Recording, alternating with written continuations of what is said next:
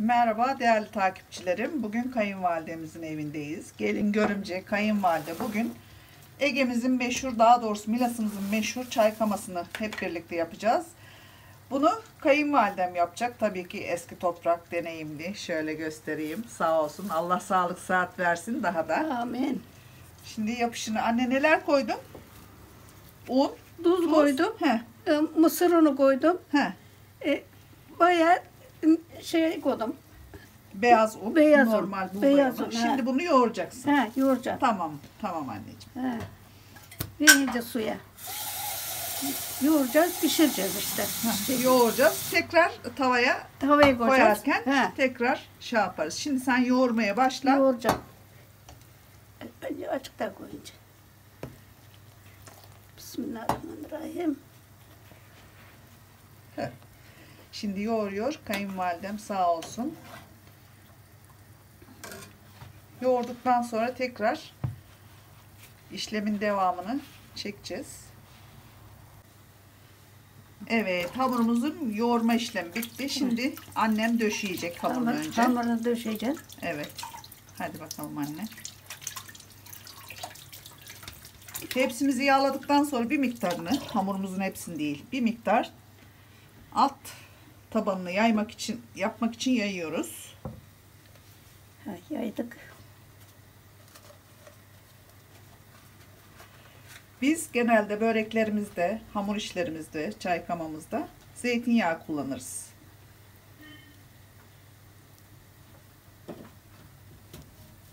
Ama sıvı yağla da yapabilirsiniz. Tabii, Değil mi anne? tabii. Sıvı yağla da olabilir. Evet. Şimdi güzelce yaydıktan sonra otumuzu döşeyeceğiz. Annem güzelce hamurunu tepsiye yağdı. Şimdi bu hamur biraz cıvık oluyor değil mi anne? Kek hamuru Evet, kıvamında gibi sanki. Belki de biraz daha cıvık. Evet. Çünkü sert yapmıyoruz çaykama hamurunu burada. Akıcı oluyor. Çok kıvamı. güzel oluyor. Evet. Tabii ki. Olmazsa olmazımız. Şimdi otunu koyacak Hepsi anne. koyalım şimdi içine. Şöyle vereyim ben anne. Elini şey yapmana gerek yok. Ot koyacaksın ya. Koy, He. Ot kocan. koyuyoruz otunu. Tamam. Bu arada Şükür. Bol olsun. görümcem İnci Hanım da yardımcı Merhaba. oldu. Ha, yeter yeter. Merhaba. Hep beraberiz. Çok oldu kız. Çok oldu. İyi mi? Tamam. Bu şekilde otunu Otunu koyduk. döşüyor annem. Eşit bir şekilde her tarafına. Çok ince de olmuyor. Çok kalın da olmuyor ama otlu oluyor. Hafif bastırıyorsun değil mi anne otu döşerken? Ha, döş, döşerken ba- bastırılıyor. Tamam. Hamuru biraz daha su koyuyoruz sonra. Şimdi üzerine koyacağımız hamuru biraz daha sulandıracağız. Hamur bu şekilde. Az bir şey daha sulandıracağız. Hamurumuzun bir kısmıyla tavada aynı işlemi uygulayarak tavada da pişiriyoruz arkadaşlar. Şöyle fazla gelen ot ve hamurumuzu tavada yapıyoruz. Pişmiş halini tekrar göstereceğim.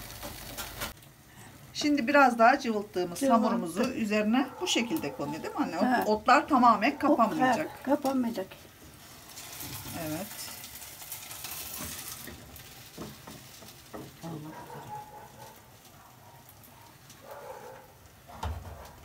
Maşallah maharetli annem. Ne varsa eskilerde var.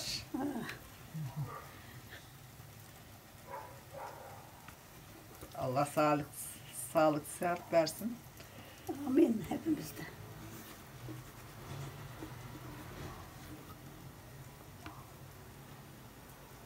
Bu şekilde yarı gönü, görünür şekilde olacak arkadaşlar. Tamamen kapanmayacak otların üzeri. Bu çaykamanın özelliği budur. Şimdi yarım çay bardağı Çay bardağı zeytinyağımız. zeytinyağı. Annem kaşığa döküp gezdirecek. Çünkü miktarı tam olarak bilmiyoruz. Şimdi ikinci kaşığımız. Zeytinyağımız hakiki zeytinyağı. Evet hakiki zeytinyağı 3. Evet. Yani 4-5 kaşık zeytinyağı. Şuraları. Tarafa da. Olsun döksün içine de. Elini içeri. Tamam. Bu şekilde 4-5 kaşık zeytinyağı gezdirip fırına gönderiyoruz arkadaşlar. Arkadaşlar tepsimizi hazırladık. Zeytinyağımız şöyle gördüğünüz gibi altın gibidir. Hakiki zeytinyağı organik.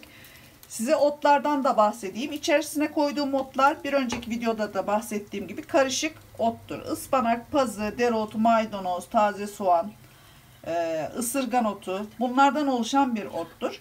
Bunları güzel yıkayıp küçük küçük doğrayıp dediğim gibi daha önce de e, çökelek peynirle harmanlayıp bu şekilde yapıyoruz. Biz e, çaykamamızı kuzine sobada pişireceğiz.